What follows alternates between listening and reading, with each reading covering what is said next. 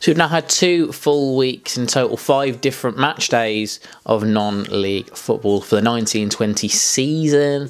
What have we learned from the first two weeks? We're going to be looking at 10 things that we have learned in this video. But first of all, this video is sponsored by OneFootball, which is great to stay up to date with loads of different news, scores, league tables, fixtures, transfers, all sorts of different things from lots of different leagues across the UK and across the world.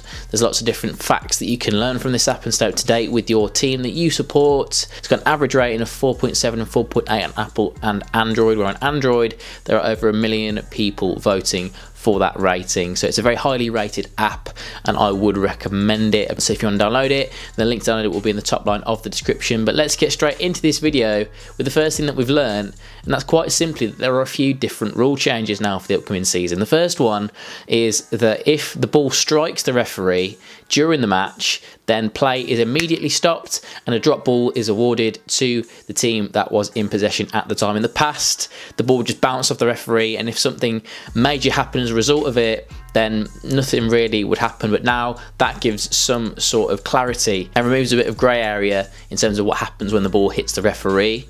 Also, substitutions are changing slightly. If a player gets substituted off, then they have to exit the pitch at the nearest possible point.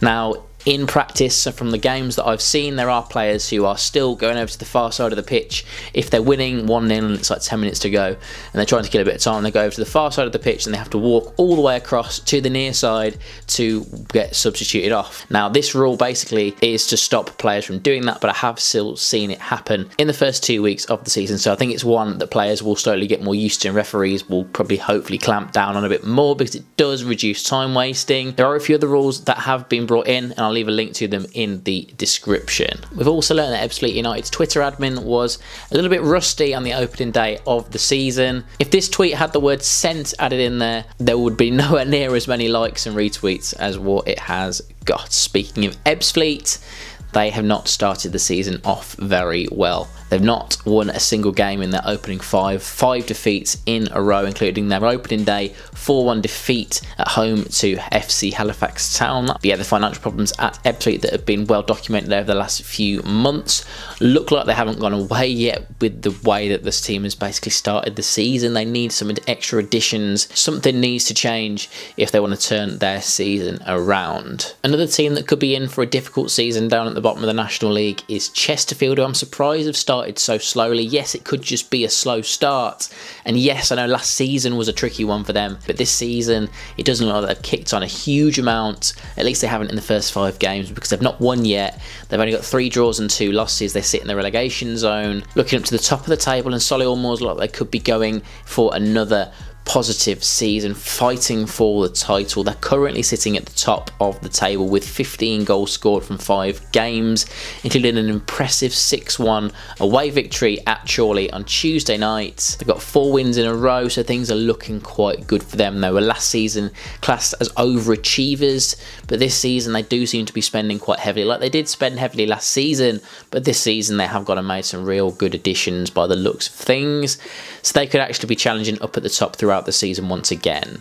Another one that's really surprising me actually that they are doing so well at the start is Woking, who've started off with four wins and one defeat. Their most recent one came on Saturday against AFC Fylde, winning 4 1 away from home. That's a huge result and a big statement. Into the National League North, we've learned that Bradford Park Avenue got their managerial appointment very wrong. They swapped Mark Bower for Gary Thompson during the off season, and Gary Thompson lasted just two matches, being dismissed along with his assistant Sean Gardner after their 5 0 home defeat to Guiseley just four days after the opening day of the season, where they also lost 5 0 away at Curzon Ashton. So they lasted two games, both of them 5 0 defeats. They've now left the club, and since then, Marcus Laura's come in. They've actually got a one all draw in there as well, where Gateshead, so they are off the mark and actually don't sit bottom of the table because Blyth are even below them. They've lost all four of their opening four games. Now, the reason that they have only played four games is because they were due to play Spennymoor,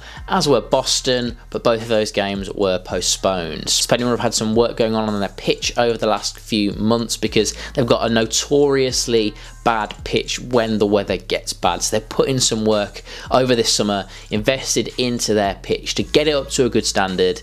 But unfortunately, they knew that this work was going to run into the start of the season. There wasn't going to be enough time to do it before the opening day. So they asked the league before the fixtures were announced to uh, basically account for this and give them away fixtures for the first few weeks of the season to give them that extra bit of time. However, the league decided they weren't going to grant this.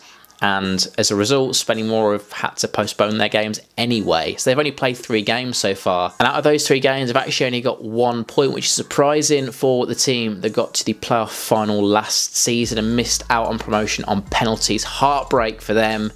Can they recover this season? And can their pitch stay at a good standard throughout it as well? Finally, we've learned that we have seen probably the strangest goal of the season already. This goal occurred in a match between Nuneaton Borough and Kings Langley on the opening day of the Southern League Premier Division Central season. This goal made it 2 0 in a 3 0 win for Kings Langley at Nuneaton. This goal from 60 yards, he's just hoofed it and it's somehow just completely been taken by the wind and swerved into the top corner.